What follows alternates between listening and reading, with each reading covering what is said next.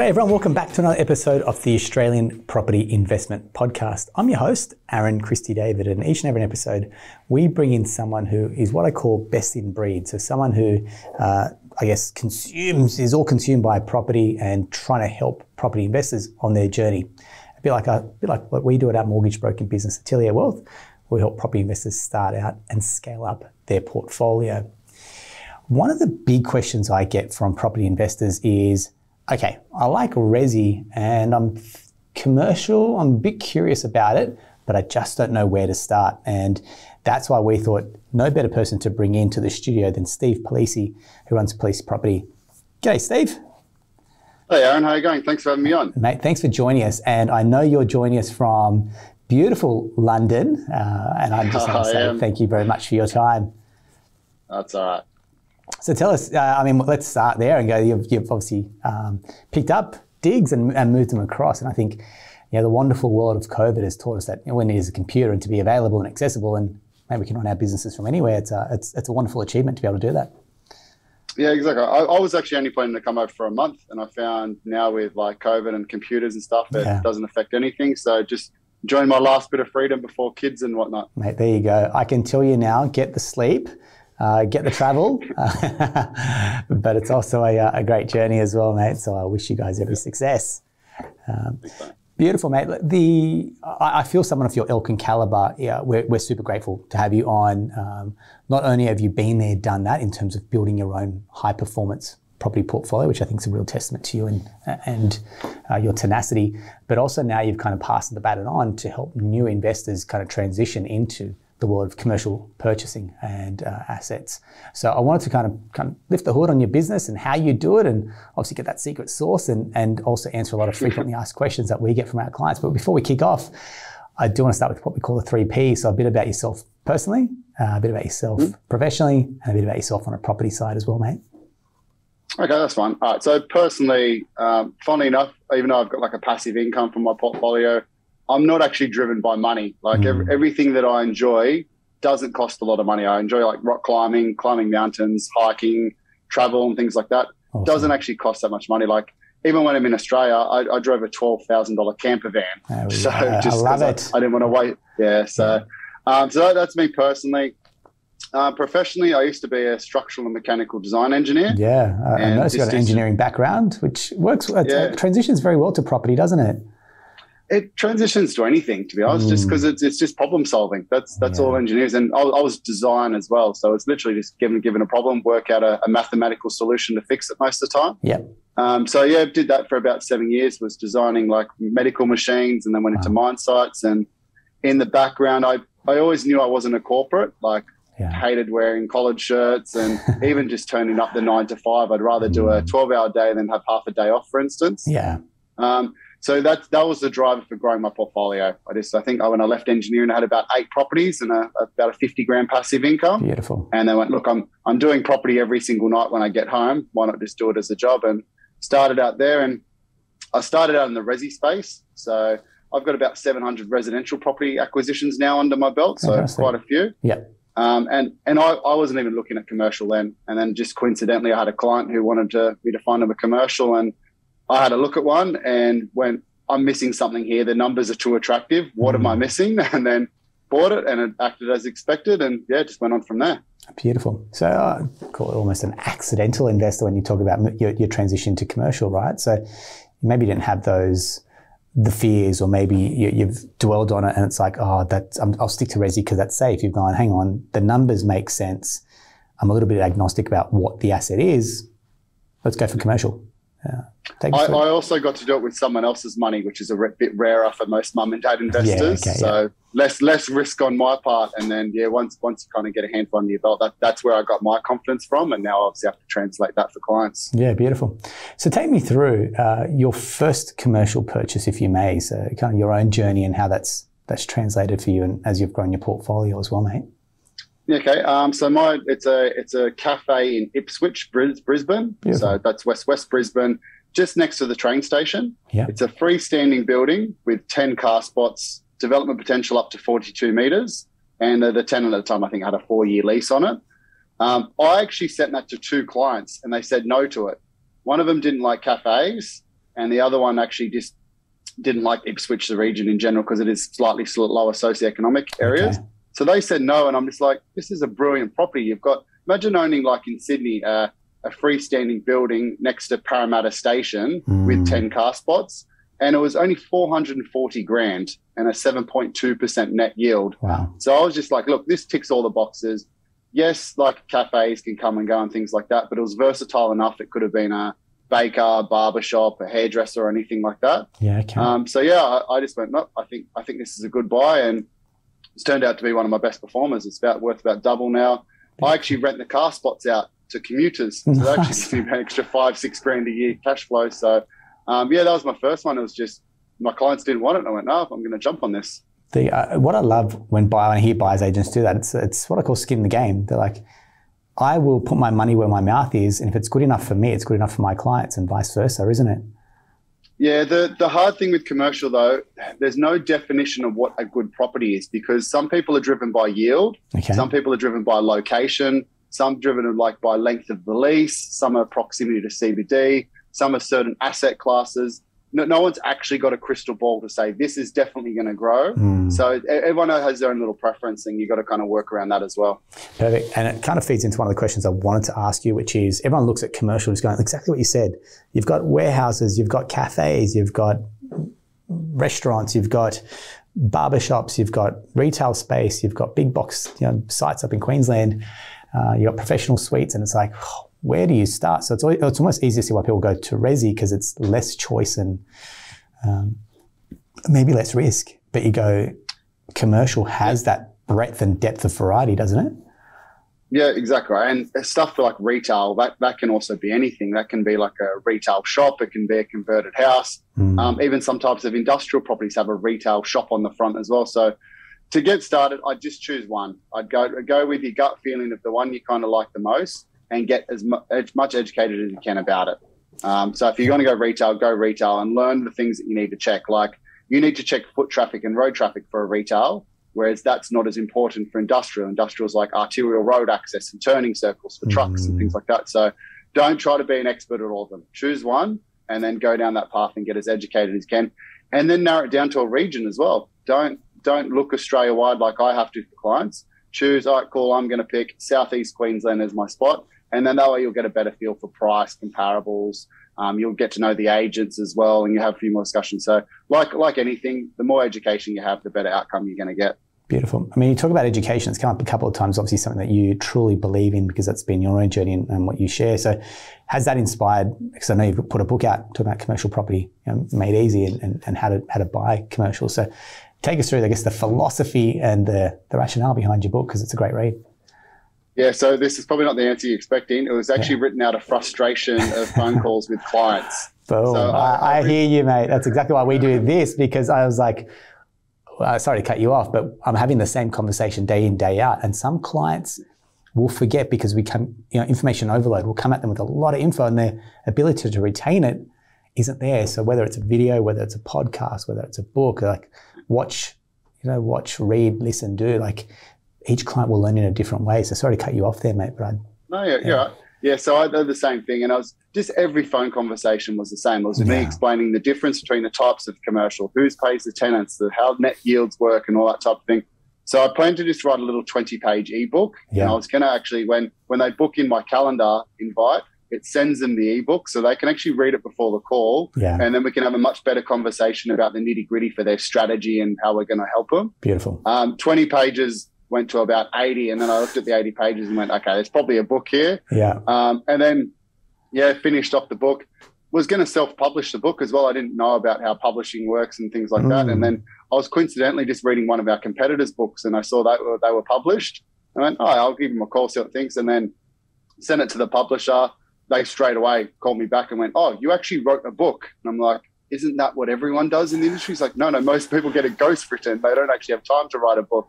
And then, um, yeah, a month later, I was getting published in stores. Mate, fantastic. I've seen your book in stores, mate. I mean, that's a proud moment personally, isn't it? When you go, hey, look, I've, produce something of value. Yeah. Some, uh, Uh, yeah, a I'm- publisher's seen value in it as well. I'm loving it at the moment because it's in the airports. So it's in all like Oh, Australian nice. airports Yeah. and just friends, family, clients taking photos, selfies with it in the Oh, airport's cool. a really cool feeling. Mate, well done. Congratulations. It's a huge achievement. You Should be proud. Thanks, man. Perfect. Um, one of the, and we've had a number of clients that have made that transition to buying commercial, but the conversations that we've had, and again, very similar conversations, it, there's two common fears or two common maybe hold, uh, th- things that hold them back. They're like, what happens if the property's vacant? Like, that's one of the big concerns they've got. And then it's like, well, hang on, it's pretty easy to get revaluations and try and get equity uplift, i.e., capital growth through a resi property compared to a commercial property. And I feel like you could probably bust that myth wide open because I've read about it.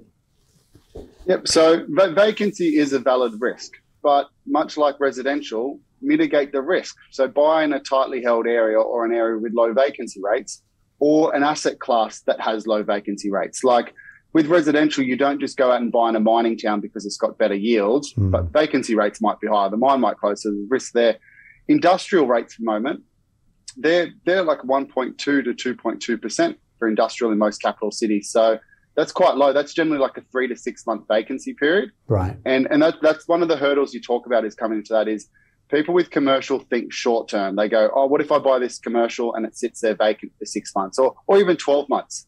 What they're actually forgetting is what about the last 10 years where you were 30, $40,000 a year cash flow positive? Hmm. So they're, they're looking in short periods, not long term. Residential, people have that mindset of, cool, I'm buying this as a 10 year investment. I want to get some really good capital growth. But for some reason with commercial, they focus on that small little period where you're going to get a tenant. Different types of properties are going to have different vacancy periods, different tenancy periods. Something like a, a small warehouse, yeah. you'll go through a new tenant every five to 10 years.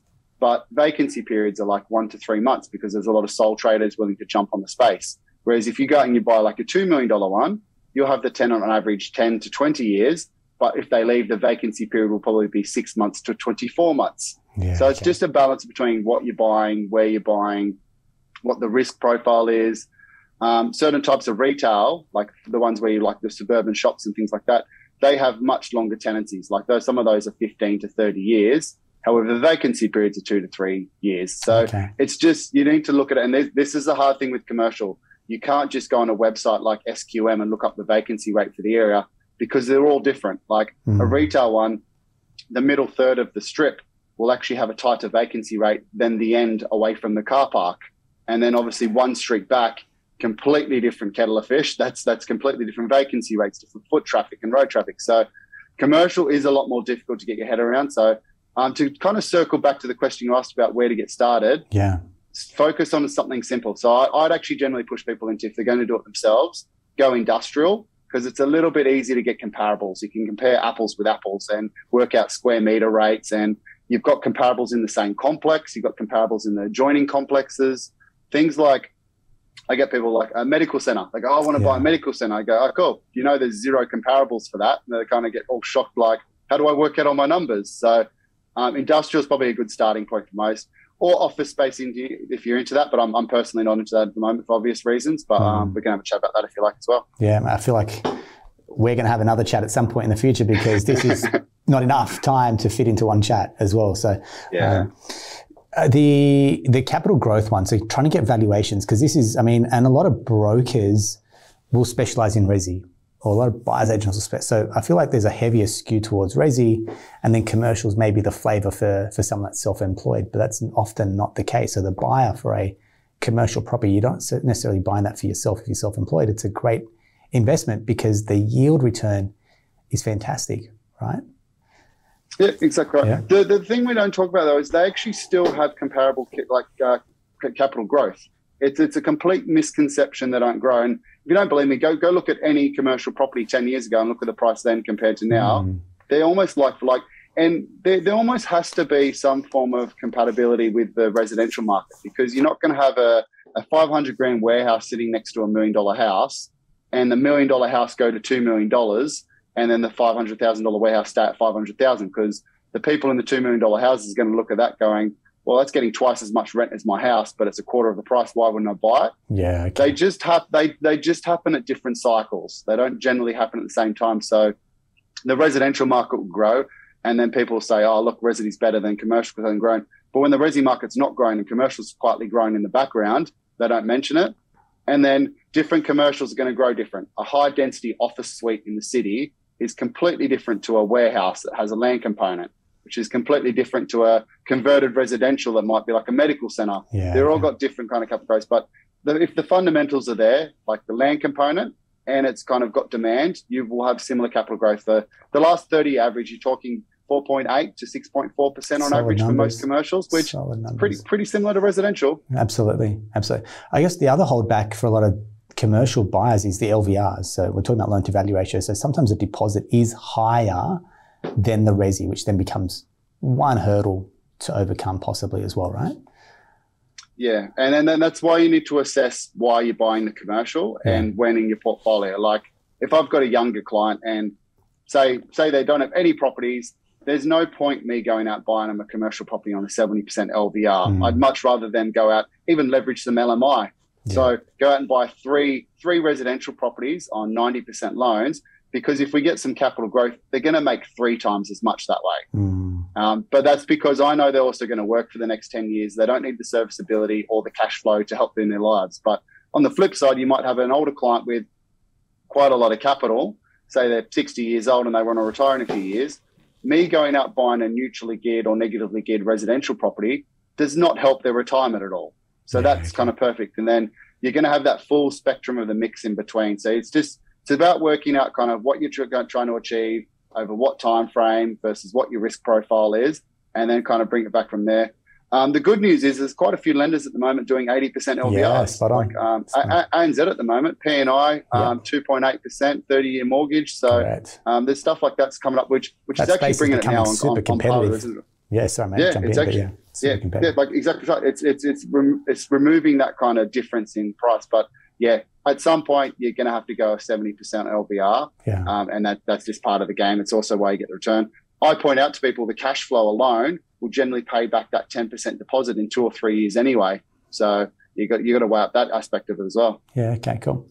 One of the other concerns that then comes up is, and you mentioned before about vacancy rates. So is and it's no way to there's no way to predict it, but is tenant screening then become super important? They go, hey, I can see the value in their business. Like, how do you then judge? a good tenant versus a great tenant that's going to be there for quite some time and not have that turnover effect effectively when you know small businesses fail. So this is one of the, the art of commercial investing is actually trying to do the business analyst side of it as well. So yeah. you need to look at the business and picture is one is it are they in an industry that's going to remain there long term? That's okay. first first and foremost. Like I wouldn't go out and just buy like a, a bank at the moment because who knows if they're going to be there in the next ten years? Probably not. Yeah. The, this is this is the hard one as well. The better business you buy, actually sometimes the more likely they're going to move. Because if you're buying a very, very successful business, say it's like in an industrial space, yep. guess what good businesses do? They, they grow, grow. Yeah. and they outgrow the space. So they upsize or they go buy one themselves. Yeah. So it's this that it's that balance. I always prepare for the worst. I, I, I try to check that they're a good long term tenant in terms of like check their P and L statements, check their rental ledgers, make sure the industry is going to last forever. But you always prepare for the worst. Always prepare for the okay. One day they're going to leave because they will. They won't be there for hundred years um, mm. and then go from there. It depends what scale you're buying. If you if you're looking in the kind of three mil plus price point, um, you're going to get a tenant for a very very long time because they rent a space with room to grow.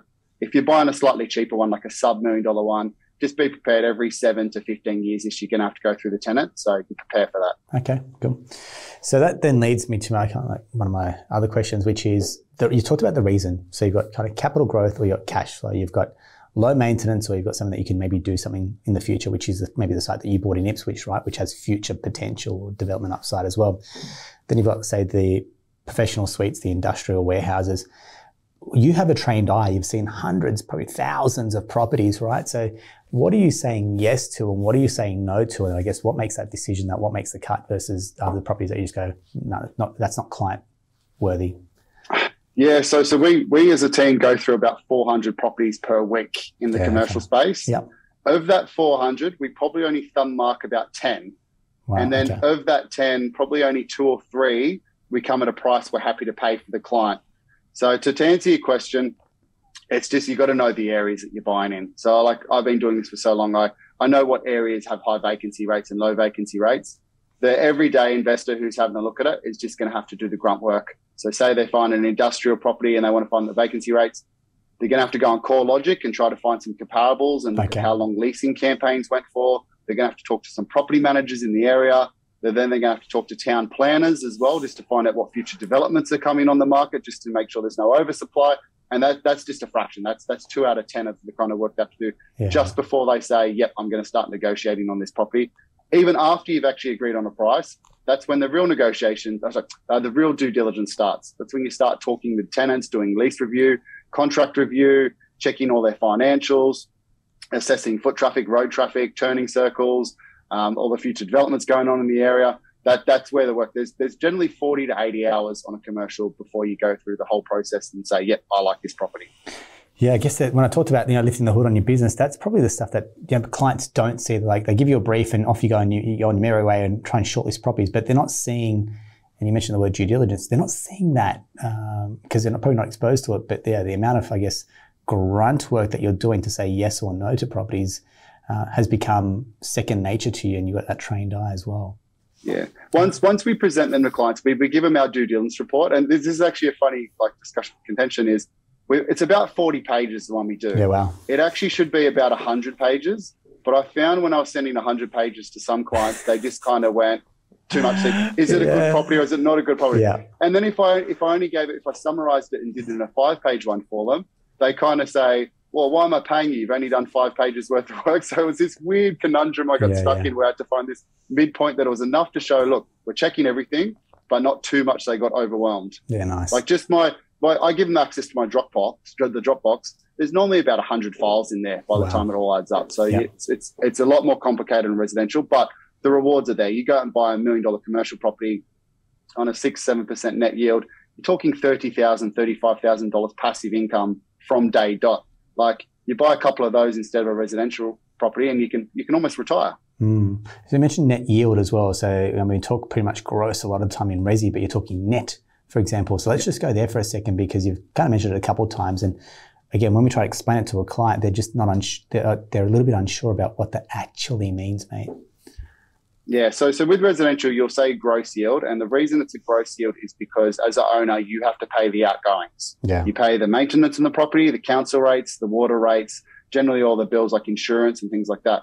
With commercial, it's a net yield, and this is this is one of the benefits of commercial is the tenant actually pays all your outgoings. Yeah. Wow. They pay the maintenance of the building, council rates, water rates, insurances.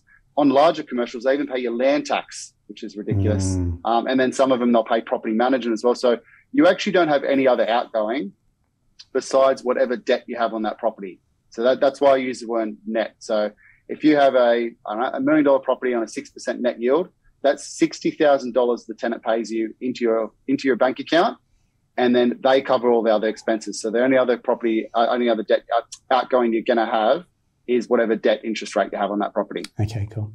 Perfect. And then just one last point is some of the, uns, I guess, the unseen costs or the stuff that pops up from time to time.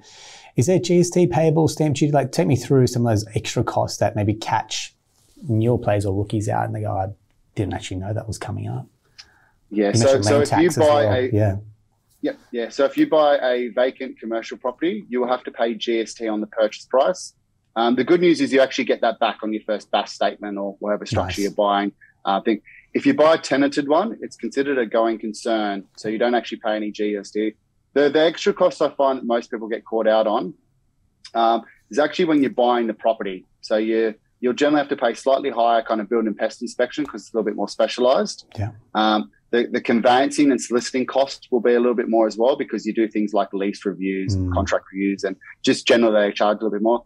Uh, but then the most surprising one for people, and you know about this obviously, is the valuations. Yeah. Banks don't just do a desktop valuation. You you have to pay for the valuation on the property, which can generally be eight hundred dollars to two thousand five hundred, depending Mm. on the kind of size of the commercial. And that's a good point as well. Is you don't just go back to a lender every six months and say, "Hey, I want to pull out some equity. Can you revalue property?" Because one, you got to make sure that there's equity there. Otherwise, you're paying for the valuation and you're not getting anything. But two, you need to be mindful when the lease finishes as well. Yeah, very unlikely you buy, say, something with a, a three-year lease on it, and you're a year and a half into that lease, that you're going to go back in the next year and a half and revalue it. You're most likely going to wait for them to sign a fresh lease, so it looks good in the bank's eyes. Then you can go back and refinance. So it's a little bit more juggling in terms of the finance game as well, which you're well versed in. Mm. And that's, uh, again, we talk about tips for new players. That's one that catches them out going, when can I revalue this property? That's why Resi's kind of easy to revalue because you can just go and go again and get multiple bank valuations done. But if you're kind of partway through your lease, for example, it's just not that easy to pick up and move banks, for example. And you're also bound by that lease term as well and how you've structured that loan to begin with. Yeah, it's also why you want to be working with a well versed commercial broker as well, not just mm. a residential one. Like a, a, good residential one will get something across the line. They'll go to a major yeah. lender and get it across the line.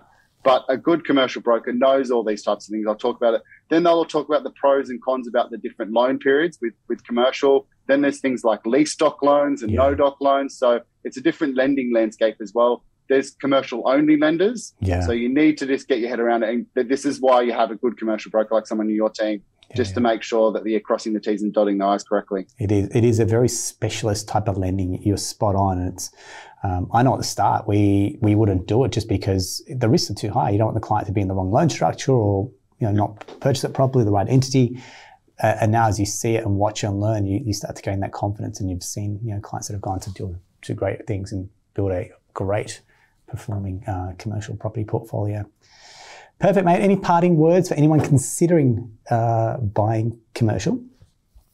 Uh, to get educated. There, so five years ago, like there was nothing out there, no podcasts, no books, yeah. anything like that.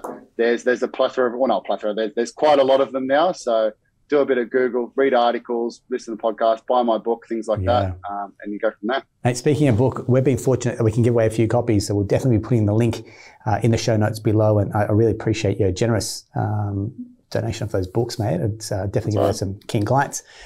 Steve, all the way from London, I want to say thank you very much. Um, I, get, I, I, know we're going to get you back on at some point, talk about your property portfolio, talk about your journey running your business from uh, from halfway across the world, which you seem to be doing flawlessly, mate. So well done. It's a testament to yourself and your team. No. Thanks for having me on. I really appreciate it. No dramas at all.